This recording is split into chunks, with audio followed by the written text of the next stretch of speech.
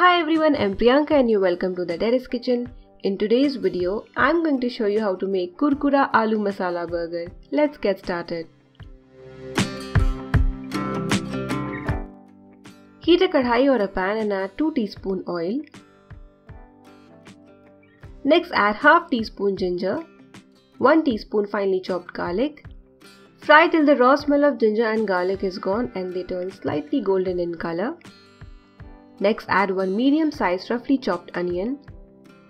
Fry till they turn slightly pink in color. Next add 2 pinches of turmeric. Saute between low to medium flame for 5 to 7 seconds. Next add 4 small sized or 2 medium sized boiled potatoes. You can mash the potatoes first and then add or you can directly mash them in your kadhai or pan.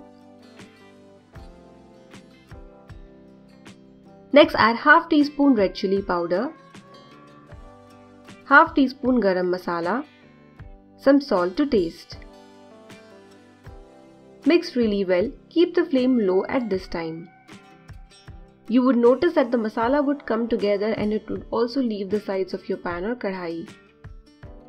The masala or stuffing is ready. For the batter take 1 4th cup whole wheat flour that is gehun ka atta and add some salt to taste. Gradually add water and make a batter of medium consistency. We are going to use this batter to crumb coat our burger.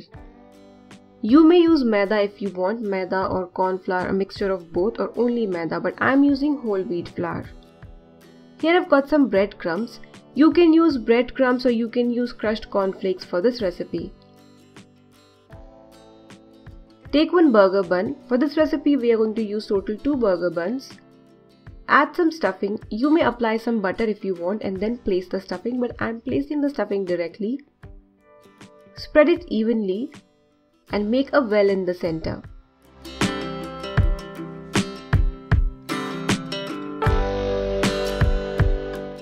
Add a little mayo approximately 1 to 2 teaspoon in the center.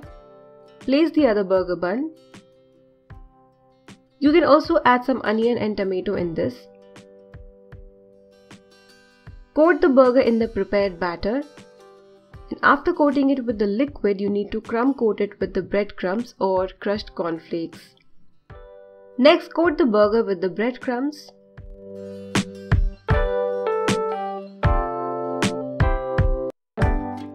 Repeat the same steps with the second burger.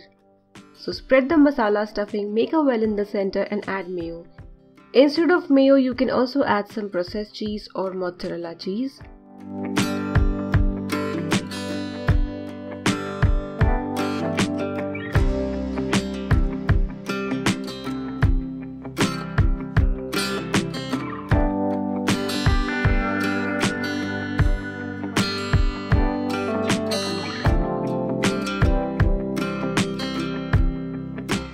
You may deep fry or shallow fry these burgers in oil in your pan or kadhai if you want or you can use your OTG or convection and you can see the instructions on the screen.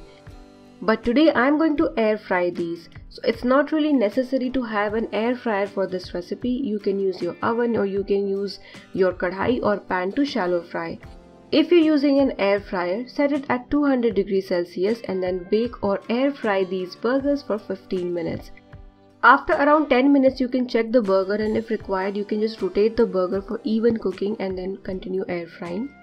These burgers have got nice and crispy coating on the outside and delicious aloo masala stuffing inside. You may decorate or top it with some mayo or ketchup if you want. This step is totally optional. Let me just cut one burger and show you and you can see how crunchy the exterior has become. But the burger is nice and soft inside. Look at the delicious mayo in the center. With the amount of stuffing that we have prepared, you can make 3 such burgers. If you like this recipe, give this video a thumbs up and subscribe the Terrace Kitchen for more such wonderful recipes. Give this recipe a try and enjoy!